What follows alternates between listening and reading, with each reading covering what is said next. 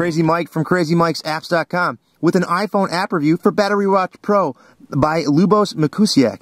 This app is in the utility category. It sells for 99 cents and it's iOS Universal, works on the iPhone, iPod Touch, and iPad. It's being demoed on my iPhone 4S, which as you can see is just about out of gas.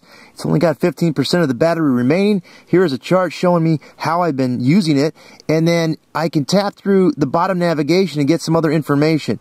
Typical charging times for an iPhone shows me there gives me some information there. I can tap on the question mark and it's going to pull up some tips and tricks on while I'm charging. It gives me some information while draining, gives me some information on battery health. Now, map is pretty interesting. It shows where I've been with my phone while I've been discharging it. Um, that's pretty tripping. Now, you'll also see an email button that I can tap on, and I can send that information if I want. So that's pretty wild. And you can do that with other information like the battery level, remaining time to empty, one hour and two minutes, and you can tap on there, and you can send this information, and so on. Delete the draft, Go into charging, email that if you want. Settings are here, and this is kind of cool. You can actually have different settings for when your phone is completely charged. You can tap on. Fully charged. Transmission terminated. And a car bomb.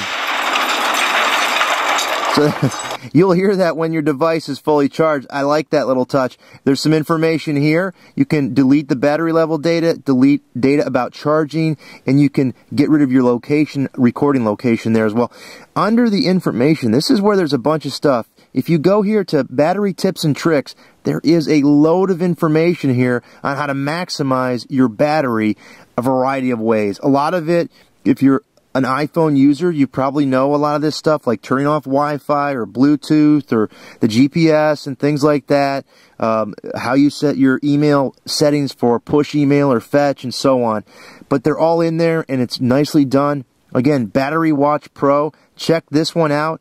Uh, it's simple, easy to use, but a nice little application to keep track of your battery and to ensure that you're charged up. Until next time, this is Crazy Mike saying see ya.